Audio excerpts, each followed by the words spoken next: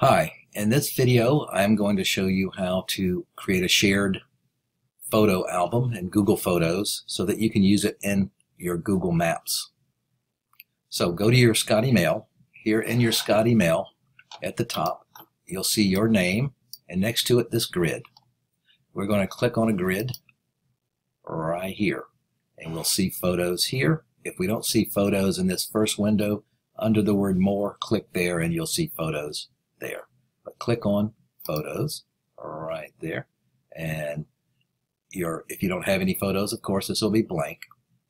So you want to add some of your photos from your trip here. So I'm just going to click on some photos I have on my desktop and drop them straight into my Google's photo. And down here it says they're uploading into the photo area.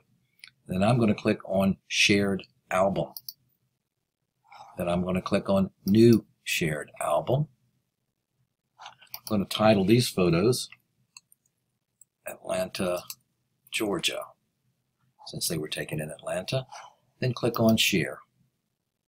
Okay, and then just simply Done. So now I have a photo album. Uh, I'm going to select the one I want to use, and I'm going to click here, and I want to use the full screen.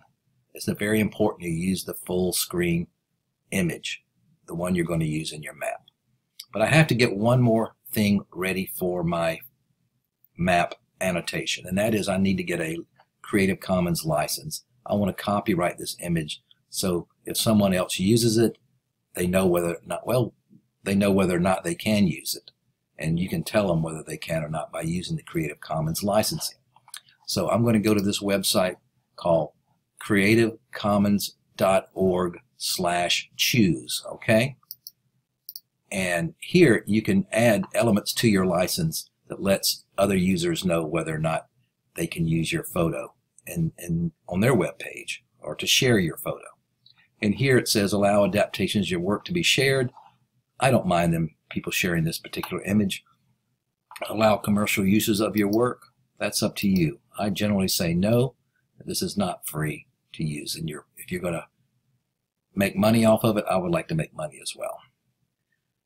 Okay, and so then here you can fill in the title, etc. if you want to, but I would suggest down here under license mark, change this to offline so that you get a very simple text version of what this license is about.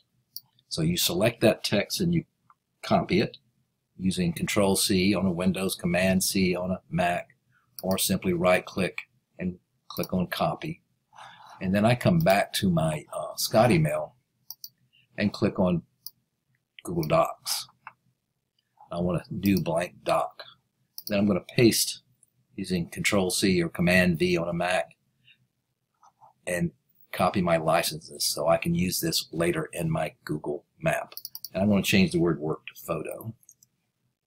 Now I have my license here that I can use in the photo. Okay? So now in the next video, I'm going to show you how you can add that photo into the map and add this Creative Commons wording to that. So we'll see you in the second video.